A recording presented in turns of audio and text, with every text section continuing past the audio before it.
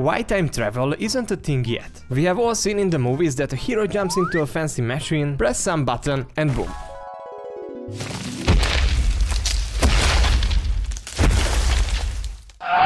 They are 200 years into the future or the past, but if Hollywood makes it look so easy, why can't we do it in real life? Well, let me tell you, it's not because we haven't tried. In fact, we have come so close to discovering time travel, you will be shocked when I tell you how it could actually be possible. We know that time travel may seem like science fiction, but it's deeply rooted in real-life science. When you get down to physics, time travel is a more realistic thing that you might think. And believe it or not, nature itself already plays with time in some truly wide ways. But you might be wondering, backit, what's the catch? Because there is always a catch, right? Why we haven't built a time machine yet, if we are that freaking close? Well, I bet the answer will surprise you at the end of the video. But first, we need to talk about time dilation. So, what the heck is time dilation?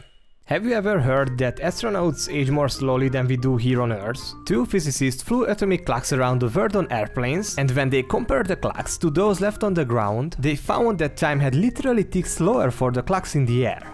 And to be frank, this is not some magic stuff. It's called time dilation. The faster you move, the slower the time moves for you. And this is kinda interesting, because this is why astronauts in space age a bit slower than the rest of us. And here is another great representation that I really like. Imagine a train traveling around the Earth at extremely high speed, close to the speed of light. Now there are two observers in this scenario. A random guy on the train called.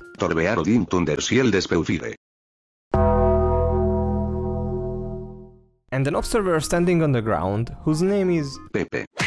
Watching the train speed by. According to Einstein's theory, time moves more slowly for the passenger on the train compared to the observer on Earth. This is because at speeds close to the speed of light, time dilates or slows down for the objects moving relative to the observer. The closer we get to the speed of light, the more noticeable this effect becomes. But how does it work for the observer on Earth and the random guy on the train? Pepe on Earth sees that the train moving very fast, but because he has eagle eyes, he also notices that the time on the train seems to be ticking more slowly. Meanwhile, Odin feels normal. His clock on the train ticks normally and he wouldn't notice anything strange with time. However, when the train finally stops and they compare their clock, they find that less time has passed for Odin who were on the train. This is time dilation in action. And actually this also means that in a certain way we are already time travelers, but we are not moving fast enough to make a noticeable difference. To really bend time, we would have to approach the speed of light. But wait, what if we didn't need speed?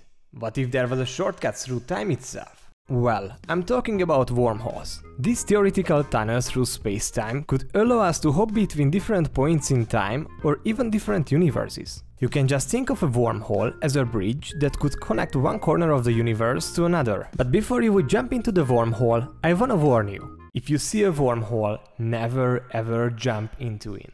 Wormholes are incredibly unstable. If you try to travel through one, it would likely collapse before you could even finish your journey, and it would probably tear you apart before you reach the other side. And being ripped is not healthy at all, so don't try this at home. But what if I told you that scientists have already discovered a way to keep wormholes open? In theory, all you need is something called exotic matter. This exotic matter could keep a wormhole stable, allowing us to safely pass through. But there is a small problem with this. We have never found exotic matter. But let's say we overcome all these challenges. We have built our time machine and we are ready to step into the past or the future. So what's the worst thing that could happen? Well, this is where things get really tricky. Just imagine you go back in time and prevent your own birth. Then how could you be alive to go back in the first place? Huh? This is called the grandfather paradox and it's one of the biggest barriers for time travel. Although some scientists think that time travel might create alternate timelines instead of changing the one you are in. So you could go back, change something What have you done? And create an entirely new future without affecting the one you came from. This means that you cannot simply break time, you just split it into different paths. And talking of different paths, there is even a theory that time itself is constantly branching into infinite possibilities every second. So in a sense, we all live in an infinite web of alternative timelines, and time travel may be the key to discovering them. So it's even possible that we might already be living in a universe created by time travelers. To be frank, some physicists suggest that the reason the universe seems so perfectly tuned for life is that future time travelers might have come back and tweaked the past to make it just right for us. Think about that for a second.